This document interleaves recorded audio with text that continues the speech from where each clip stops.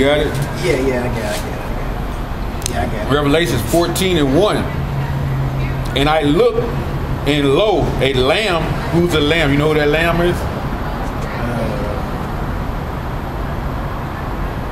Jesus. Yeah, you're right. Yahweh Shai. Say Yahweh Shai. Yahweh Shai. Yeah, how shot. That's who it is. Okay, cut. And I looked, and lo, a lamb stood on the Mount Zion. When you see that word Zion, it's talking about these people here, Israel. Even though Zion is a place, it's called a monument, it's talking about, it's synonymous with these people.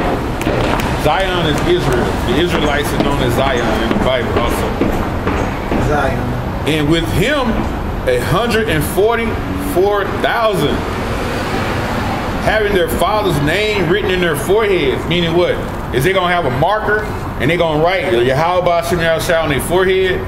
No, his essence, his will, his word, his his total embodiment is in their minds, right? Uh, it, it's that they, they name the name. That name, Yahweh Shem Yahshua. Yeah. It's, it's gonna be the whole embodiment of what he stands for is gonna be in our in our in our mind, right? yeah, That's it. Right. And it says, uh, So not everybody gonna know the name. no, not everybody gonna know. Uh, Go to Revelation 7. You got 7? Go to 7. Check this out. You saw that 144,000, right? yeah. All right, go to 7. Okay. I, I got it. Revelation. Uh, it says Revelation 7 and 1. And after these things, I saw four angels standing on the four corners of the earth, holding the four winds of the earth. They holding the destruction, right? Yeah. that the wind shall not blow on the earth, nor on the sea, nor of any tree. Right? Yeah. That nuclear judgment. They're holding back the judgment, the angels. Right? He said, he said that the wind shall not blow on the earth, nor on the sea, nor of any tree. Right? And it says, uh, uh, and I saw another angel ascending from the east, having the seal of the living power, and he cried with a loud voice to the four angels to whom it is given to hurt the earth and the sea. Right? And it says, saying, Hurt not the earth, neither the sea, nor the trees, till we have sealed the servants of our power, Yahweh, in their foreheads. So they have sealed that name, right? And they have came out, they have preached the gospel, right? Maintained in the scriptures, right? Maintained the, the, the will of Yahweh Shem right? And I heard a number of them which was sealed, and there were sealed 144,000 of all the tribes of the children of Israel. So that 144,000 is coming from what? It said all the tribes of Israel. So if it's 12 tribes and 144,000, how many men out of each tribe is gonna be is gonna be uh, uh basically like preachers of, of men of the Lord preaching? 12 12 what? 12,000. 12,000. Come, right? See, see how your math has improved. yeah. Your math has improved, grasshopper. Ain't that good, man? Right? It says of the tribe of Judah, right? You see Judah on that sign? Yeah. Was sealed 12,000. So you're right on that. Your math has improved greatly. of the tribe of Reuben were sealed 12,000. And the tribe of Gad was sealed 12,000. Of the tribe of Asher was sealed 12,000. And of the tribe of Naphtali was sealed 12,000. Of the tribe of Manasseh was sealed 12,000.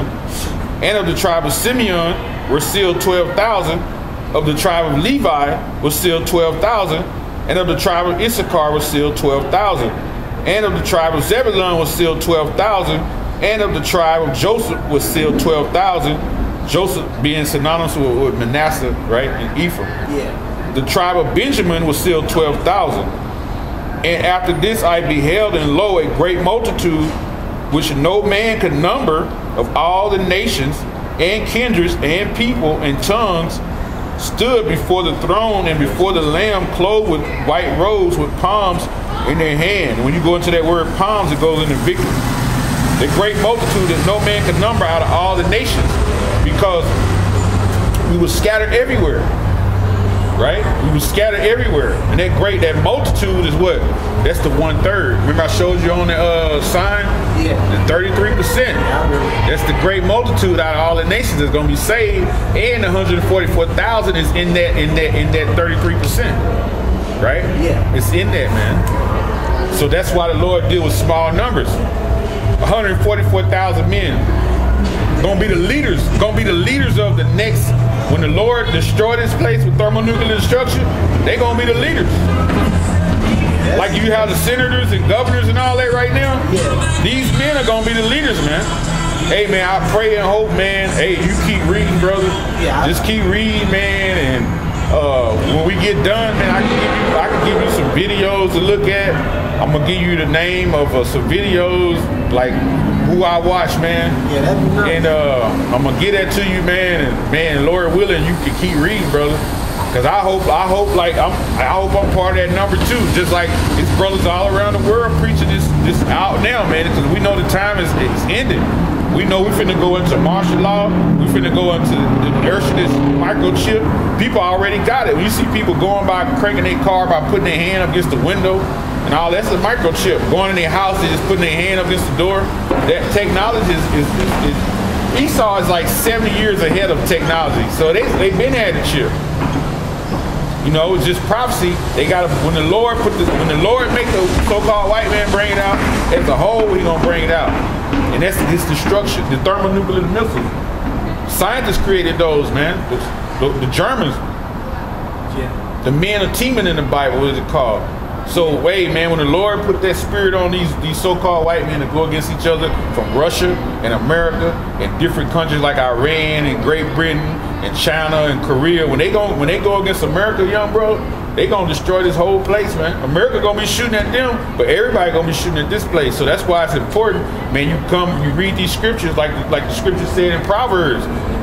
This name is a shield, man. These words are a shield unto you, man right? It's a shield, man. It's a protection. People be like, how you gonna be protected reading words? you gonna see in the end. if you don't read them, you gonna see you gonna see fire hitting you right in your face, and you gonna feel everything, every sin you ever committed, you gonna feel it in that particular time. The Lord gonna freeze time on you like he did in the book of Joshua. He froze time. He gonna freeze it again. When the missiles hit, you ever watch the movie Terminator? You remember when the when the white woman was on the fence and the bomb hit her and it blew her Yeah. blew her uh, skin right off? Yeah. Hey man, it talks about that in the book of uh, uh, uh, Zechariah, the 12th chapter.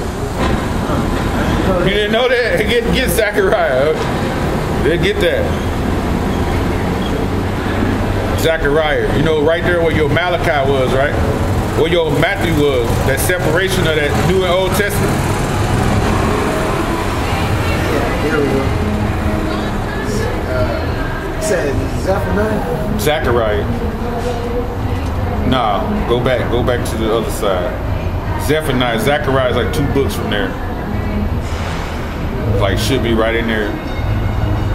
What you at now?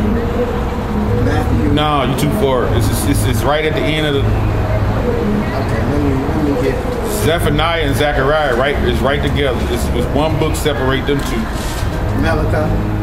No, Malachi is the last book of the Old Testament. Zechariah is the book right before it. It ain't nothing you'll learn, man. You keep reading. Look at them table of contents, man. Study that, cause that's how you gonna know. You right. And you know what you do? Give you, give you. No, no, you there. You right there. You open the book. Open it up. You right there. Where you at? What's that book say right there?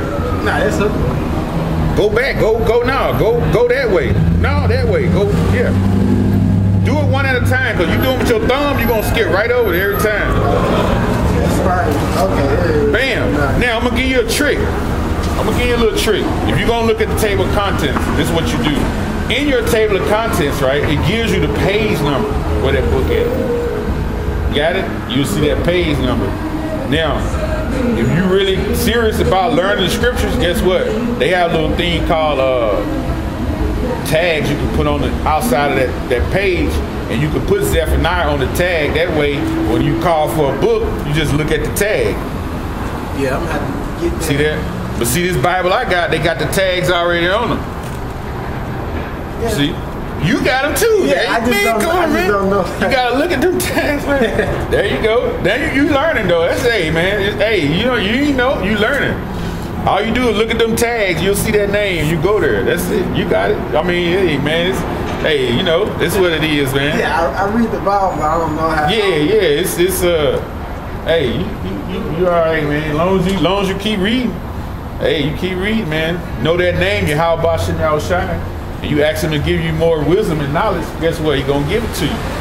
You know, Yeah, you'll come out. Here, hey, you keep reading. You you might you might one day you're gonna wake up. you're gonna know where every book is by heart. I, I hope so. Hey, brother, that's how it is, man. You know. I hope so. Uh, check this out, Zechariah. No, go to 14, chapter 14. S- My bad. Go to 14. You, Zephaniah? Matter of fact, let me. uh It's probably finna cut out. 14, chapter 14. I don't get no. Uh, You got chapter 14. Yeah, uh, it, it, it Turn. That's for. That's Zephaniah. What? You ain't in Zechariah. It's Zephaniah. Let me see it. Open it up. No, just open it up. Open it up. Open it up. I know you want to go to. You in Haggai. Go over one book. Just go over one book. You go over one or two books. You in Zechariah. Okay, that's. You went Zephaniah. Zephaniah only three chapters. Go to chapter 14. Let me show you something. yeah, I was confused a little bit. Hey man, it's all good, man. You know, that's that's hey, just hey, ask the Lord to give you wisdom and, and knowledge, man. Don't pray for no no more girls or a car. Pray for wisdom and knowledge, like Solomon did, and all he'll be given to you. Zephaniah 14, verse 12. It says, And this shall be the plague wherewith the Lord Yahweh will smite all the people that have fought against Jerusalem. So everybody who came against us, he gonna bring missiles, the thermonuclear destruction. These missiles gonna destroy everybody. Then it says, Their flesh shall consume away while they stand upon their feet, and their eyes shall consume away in their holes, and their tongues shall consume away in their mouths, man. So it's telling you that their eyes gonna melt and their tongues gonna cleave to the top. They gonna the skin gonna come off their bones, man. Why they standing? While they standing, Yeah, you know, and that's that's the scriptures, you know. yeah, that's that's something. It's, it's talking. It's it's crazy how it, it talks about the missiles and stuff. Back then, uh, you know, the prophets stuff didn't know nothing about. You know, No, no, missiles. no. We know now. They prophesied what they saw, what visions the Lord gave them. Ah, the. And- and yeah, we know now. Yeah. You know. So, uh, let me, let me. uh Time is almost out. It's 13 minutes. As a matter of fact, I can change. Let me change this out. Because you had asked me a question when you got here about the slavery, so I'm to answer. Let me close this.